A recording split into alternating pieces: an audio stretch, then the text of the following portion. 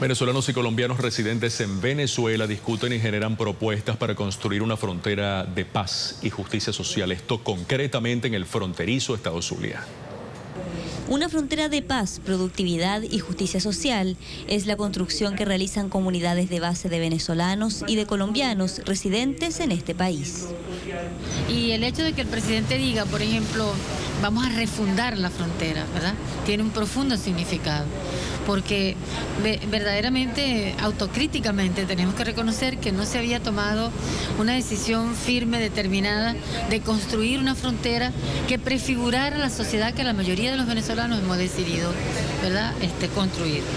Dirigentes de comunidades, estudiantes de secundaria y universitarios se encontraron en la biblioteca pública del estado Zulia. Eh, como pueblos somos uno solo, eh, estamos marcados por una misma historia, un mismo libertador y bueno, una misma geografía que nos recorre a la Gran Colombia. ¿no?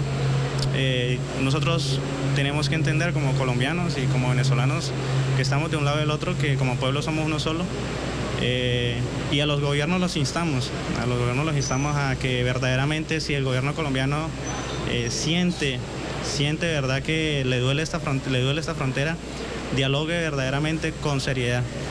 Porque si está bien, si hay un abandono, si el Estado venezolano ha hecho intentos por tratar de que la frontera camine, hay un abandono estatal por parte del gobierno colombiano hacia nuestra frontera. Desarrollo social de la frontera, experiencias de construcción de poder popular, situación económica y comunicación alternativa son algunas de las temáticas que se debaten en el estado Zulia. Intercambios de ideas que recién comienza.